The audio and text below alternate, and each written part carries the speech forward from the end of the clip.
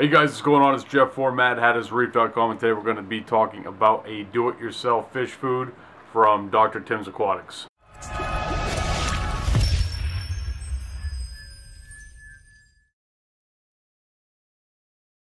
Alright guys, so today we're taking a look at Dr. Tim's Aquatics beneficial fish food. And there's also a freshwater version of this as well. Now to start, you need a bag of the base, and that is the stuff on the left. Now the base food is good enough to be fish food all on its own, but there's also grinders that are filled with other options such as garlic and seaweed medley. And the sky really is the limit with this product. You can go far beyond the realm of what Dr. Tim's Aquatics has available.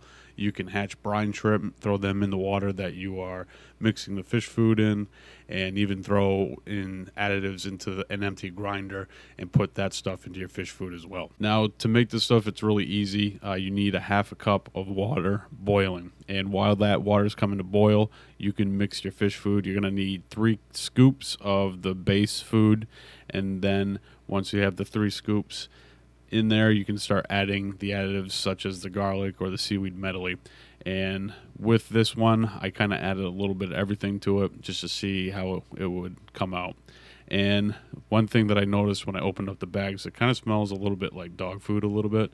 Uh, it's pretty strong smelling, so you know it's going to be a, a, potent food that the fish are going to be able to find pretty easy. Now, a half a cup of water comes to boil pretty quick. And the insider tip is make sure that your dry food is mixed prior to starting to boil the water, uh, just because I got caught with my pants down and had to put the boil on pause so I could finish mixing the dry food prior to adding the boiling water. And quick safety tip here what I'm doing is pretty dumb.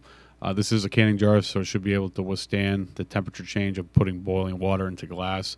Uh, but just the same, just for safety, I shouldn't have had my hand on it while I was pouring in the water. And stirring. Stirring is very important. You want to make sure you stir it for a solid two minutes just to make sure that it is mixed properly throughout.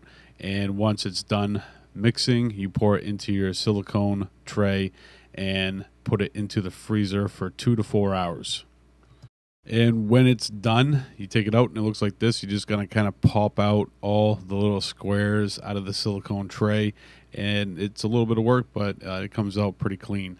I think what I like most about this is how small the squares are. A lot of those fish foods that you buy at the pet store, uh, they're much bigger, and you're cutting them down and putting them in the freezer and refreezing and unthawing, refreezing, unthawing. I like how small these are, just because it's really going to cut down on the amount of wasted food that you have. Now, at this point in the video, I really should be showing you how much the fish enjoy this food but these fish are in quarantine and that's another video for another time so if you want to catch that video make sure you hit the subscribe button below and also if you want to check out dr tim's aquatics beneficial fish food jump over to drtimsaquatics.com Alright guys, so today I want to try something new. It's something that I wanted to do a long time ago, but I couldn't figure out the way to go about it. Is I want to start spotlighting YouTubers that are in the saltwater aquarium hobby. Maybe just maybe I won't just narrow it down to saltwater aquariums. Maybe we'll kind of broaden our horizons a little bit. So for this Sunday, we're taking a look at CJ's aquarium. CJ has recently upgraded to a 120 gallon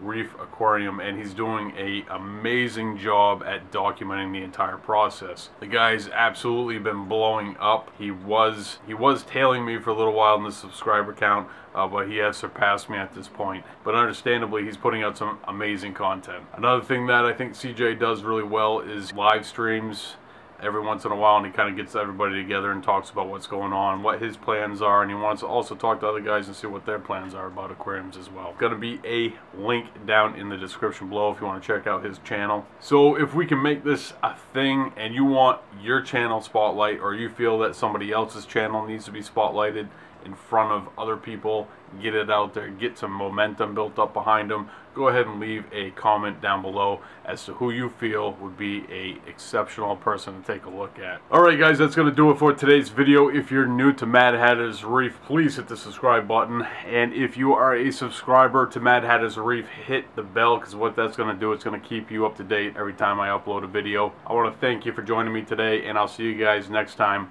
right here with a brand new video.